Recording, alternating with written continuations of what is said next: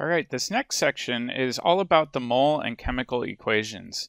And what we're going to do is we're going to study something called stoichiometry. That's S T O I C H I O M E T R Y. And really, this is a fancy word for the study of mass relationships or even mole relationships in a chemical reaction.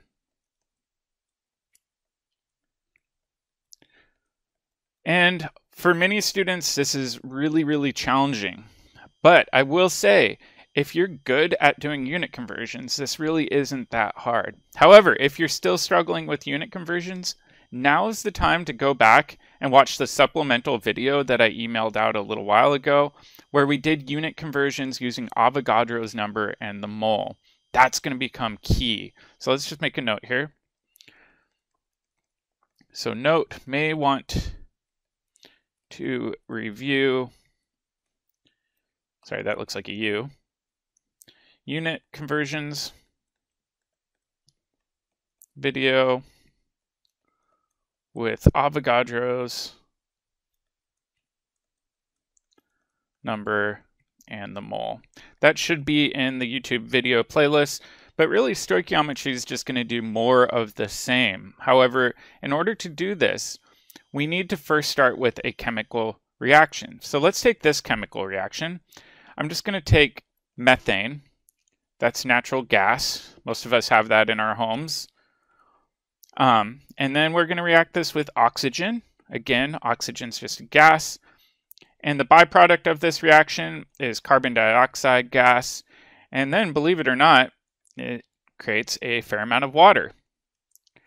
All right, the first thing you need to do before you do any stoichiometry is you have to bounce it, right? And so we need to put in these reaction coefficients in order to make sure we're not gaining or losing atoms during the process. So when I look at this, I'd check and I'd say, well, one carbon on both sides, so carbon looks happy. If I go and look at hydrogen, though, over here I've got four, over here I only have two. So I'm going to go ahead and double this side. That way I have four hydrogens on each side. Okay, so I've got hydrogens taken care of. Now let's go to oxygen. Oxygen over here, I've got two. Over here, I've got two plus two, so that means I have four. So I must have a 2 in front of here. The other ones are going to be assumed to be 1s, so we don't necessarily have to include them. And I did want to have a reminder here that these reaction coefficients are super important. So reaction coefficients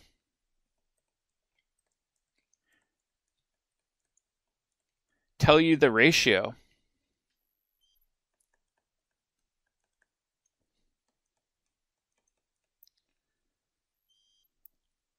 for a given reaction.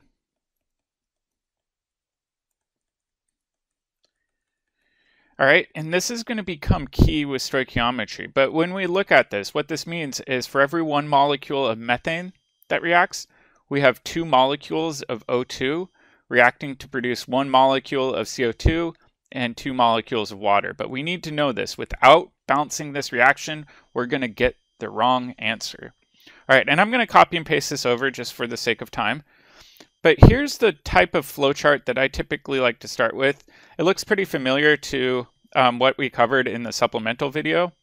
But if you're given the mass of something, you can convert to the moles by using the atomic or molecular weight, right? And then the reaction coefficient can convert you from moles of one thing to moles of another thing. So for example, if I put in two moles of oxygen up here, I should get only one mole of CO2. That's a two to one ratio. So that's where these ratios come into play. And then once we have the moles of B, we can get to grams of B by using formula weights or molecular weights. All right, so let's take an example.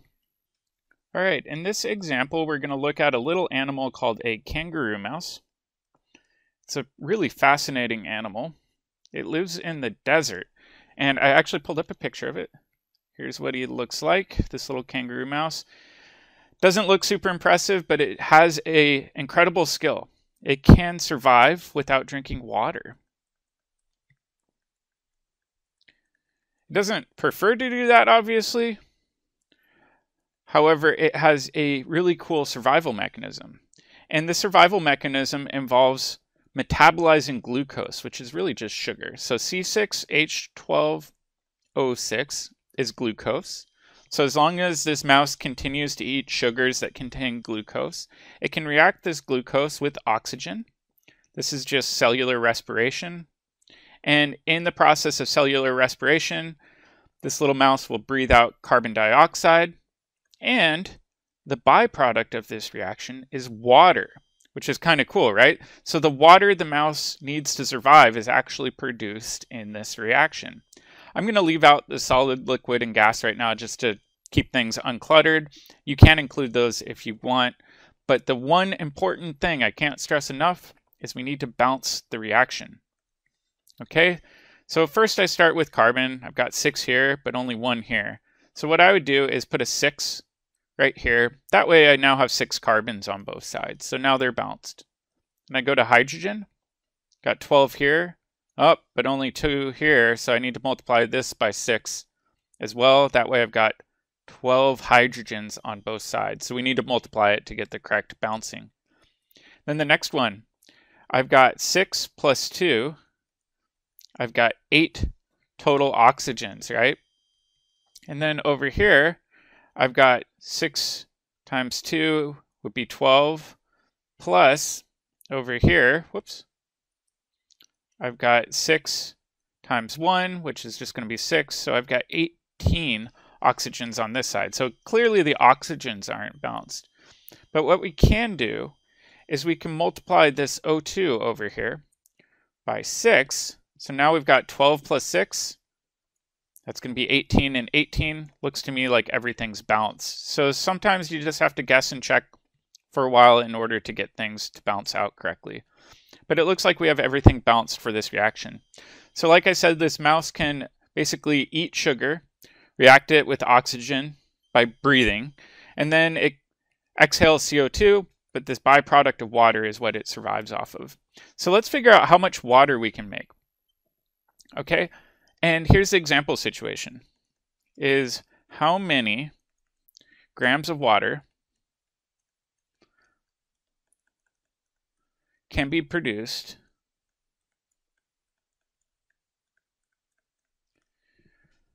when 25.05 grams of glucose, which is C6H12O6, is metabolized. And we're going to assume excess oxygen, right? Because we know that this mouse is going to be in an environment where there's not going to be a limited amount of oxygen. All right, I'm going to give us some cheats though. I'm going to figure out the molecular weight of glucose first. So add up the mass of six carbons, 12 hydrogens, and six oxygens in order to find the molar weight. So what that means is one mole of this is C6H12O6 should weigh 180.16 grams. All right, and then the other component we're going to be working with is water. So I'd say one mole of water is equal to 18.02 grams of water. We've practiced this a fair amount, but make sure you just go to the periodic table and add up the number um, of elements and their corresponding masses, and you should get to the net value. All right, so now let's go ahead. We know that we're starting out with 25.05 grams of glucose. All right, but we want to figure out how many grams of water, right? So we need to first cancel out our grams of glucose. All right. And if I look up here, I could say, well, I've got grams and glucose right here. And then on the top, I've got moles. So what I would do is I would go ahead and I would say, well, the 180.16 is going to be paired with that, right? So the number and the unit are paired. But then on this side, I would say, well, one mole is going to be on top. Sorry, this should be a 12 down there too. But by doing that, we've canceled out our grams unit and now we've got our mole unit. Okay, but we don't want moles of glucose. We want to figure out how many grams of water. So we need to do a conversion to water. So if we look back up at this flowchart, we'd say, well, this is where the equation coefficient comes in, meaning the ratio, right? So if I go ahead and I look at this, I'd say for every one mole that we put in, we would get six moles out, right? So one mole in, six moles out. So let's use that as our ratio. So again, I want to cancel out moles of glucose.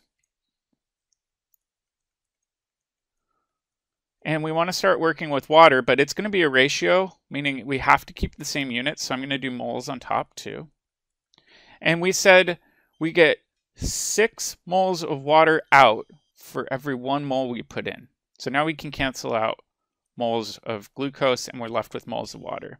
All right, but we don't want moles of water, we want grams of water. So let's cancel out moles of water. And let's figure out how to get to grams of water. Well, over here, just like before, we can use the molar uh, mass, which in this case says there's 18.02 grams of water in every one mole of water. So I want to make sure that 18.02 is with the grams unit, so I'll put that on top. And I'll put one on the bottom with water, and now we've canceled out moles of water like that. And my final remaining unit is grams of water. Perfect. So now we can type this into our calculator and it's telling me that we get about 15.03 grams of water. So pretty cool trick by this little mouse to take sugar, metabolize it not only for energy, right? Because that's how um, our bodies run is we we convert chemical energy into biological energy, but the byproduct, water, is actually used to sustain life. So, kind of a neat trick by this little mouse. All right, I hope that makes sense. I know this takes a lot of practice. I would encourage you to try to go through book problems. A part of the way you get good at this is to simply sit down and kind of rack your brain over some of these problems. If all you do is watch me in these videos, it might look nice and easy, but come an exam or a quiz, you don't have the problem solving skills to know how to struggle through one of those problems. So it's okay to be uncomfortable. In fact, um, if you want to email me, I'm happy to help you out. If you need to talk with a tutor, that's great. But struggling is a part of the way we learn, and it's better to struggle in practice than it is during a, a more stressful situation like an exam or a quiz. All right, good luck studying, and let me know if you have any questions.